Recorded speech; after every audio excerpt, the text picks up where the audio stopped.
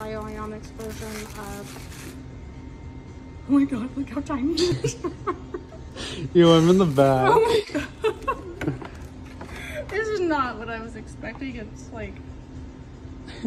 It looks like a little space gun. Like. Okay.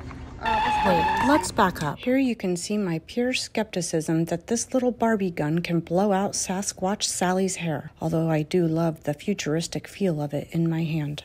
So many new ways to f with Megan. Next is an inside peep at how much my team enjoys capturing unflattering pictures of me on a regular basis and my complete ineptitude at working anything new. Power up the fan. Is it touch?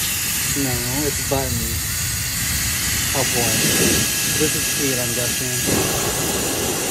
Is it, oh, that is powerful. Holy smokes. Yeah. I missed it initially. Do it again. And I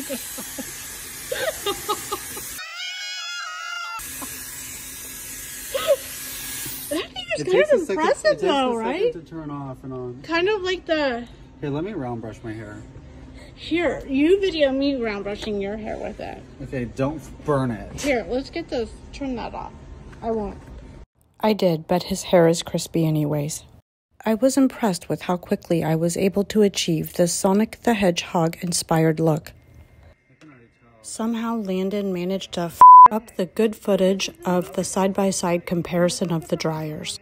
Since Chucklehead failed the assignment, next week we will do a comparison video of the Smart X Pro dryer compared to a Dyson and a CHI.